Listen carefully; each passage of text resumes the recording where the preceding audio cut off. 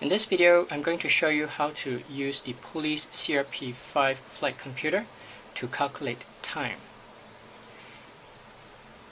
And we remember that using the very simple formula, time is equal to distance over speed.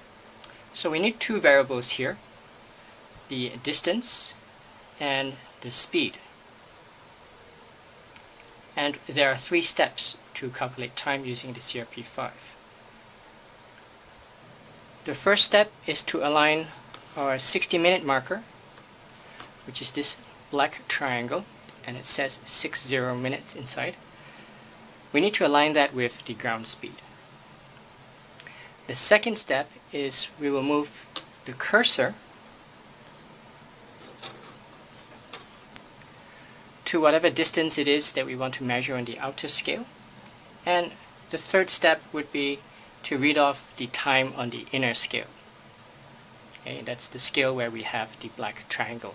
So this scale would be the scale for time, and the outer scale would be the scale for distance. Let's demonstrate this with an example.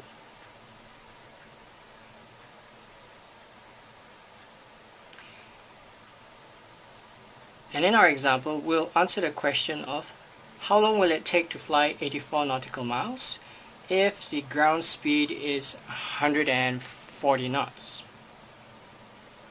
So step one is we're going to take our cursor and we're going to put it over the outer scale. So I'm going to take my 60 all the way up to 140 because that's my speed. My ground speed is 140 so I would cover 140 nautical miles in 60 minutes. And then I want to know how long will it take me to cover 84 nautical miles. So I'm going to take my cursor now and I'm going to look for 84, which is over here.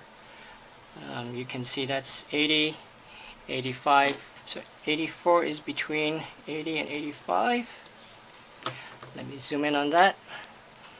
And as with any exercise on the CRP, I'm going to press down on the CRP just to make sure that everything's lined up. And we can see that for a distance of 84 miles, we would take 35, 36 minutes. So the time to cover 84 nautical miles is 36 minutes. And that's all there is to it.